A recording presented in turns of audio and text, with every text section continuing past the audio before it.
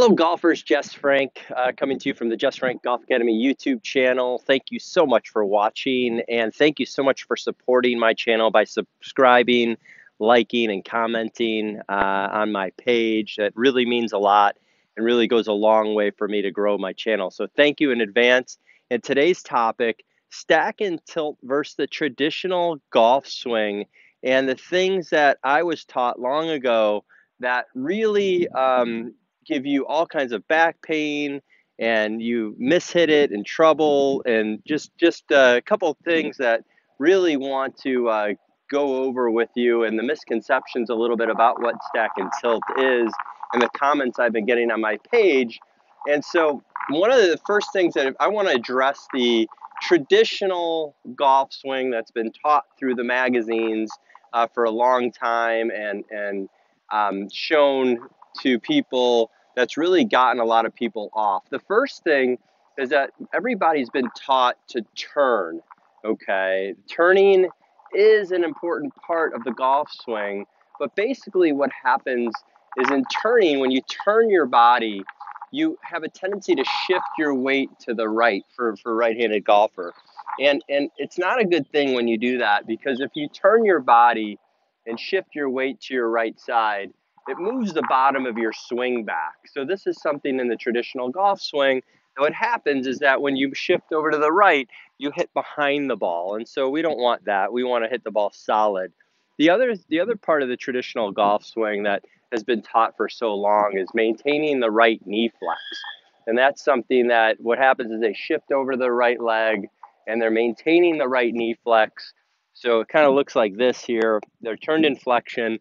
So their golf swing can only go back so far. So it stays in a flexed over motion, restricts the left arm, restricts distance, and just something that I see as a, a common flaw for people that that that subscribe or have been taught to do the traditional golf swing of shift, keep the right knee flexed, and then what happens is they lose power and consistency and ball striking so that's something too. The other part of the traditional golf swing that's been taught for so long is that you want to swing the club down the target line as long as you can back and forth, okay?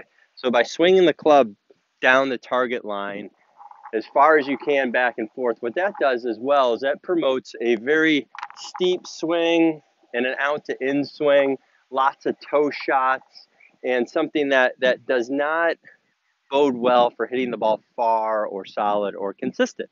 And so what I what to to go from there to the traditional golf swing, uh, those couple things can really really hurt you. Now the misconception about stack and tilt is that you know, and people have commented on this on my page, is that they're saying, well, you have to keep your weight forward the whole time. Well, that's not completely true. And they do say in stack and tilt, you want your weight forward, of course. But in your backswing, if you do the correct motion of extending, tilting, and turning your body, what happens is that the weight goes into your right heel. It's not, you're not shifting your weight, you're not keeping the right knee flexed, um, and you're not definitely not swinging down the target line.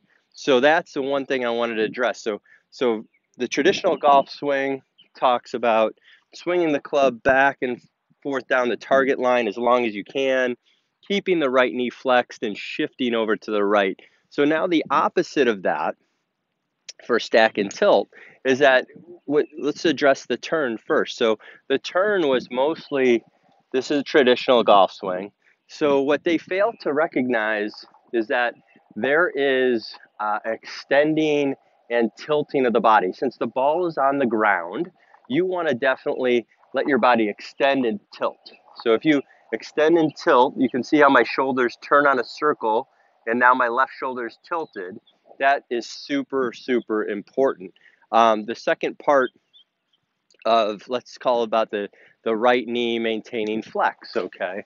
So the right knee, when I take the club back, if I want to swing really short, and resist my hips turning, which puts pressure on my back, amongst other things in my body, I'm going to allow my right knee to lengthen or straighten. Okay, so that's just a natural progression of how my knees flex. And so they act like pistons. So that's super important. Then the next thing that we were talking about is that the straight back, straight through swing is that there's no power in that. We got to remember we play golf, it's a side on game. So every golf club is built on an angle. So when we hit shots, we never want to swing the club straight back, straight through down the target line. We're always looking at, okay, so if I extend and tilt and turn my body correctly at the right rates, you'll see is that the golf club now is swinging on an arc and my left arm is able to orbit my body. So this is just super important. So as I go back, you can see now I've extended my body.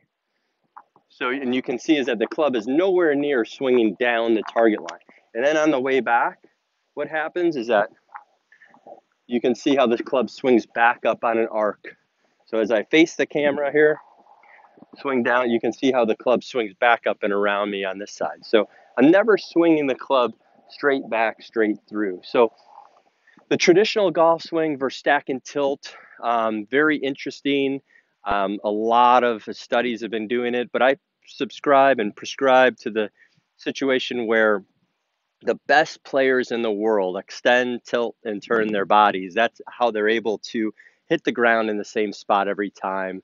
They're able to hit the ball far enough to play the game, and they're also able to control their direction everything that Stack and Tilt talks about. So if you have any questions or comments, please leave them in the comment section below. I like to answer all the comments. Please subscribe and like this video. Subscribe to my channel, like the video.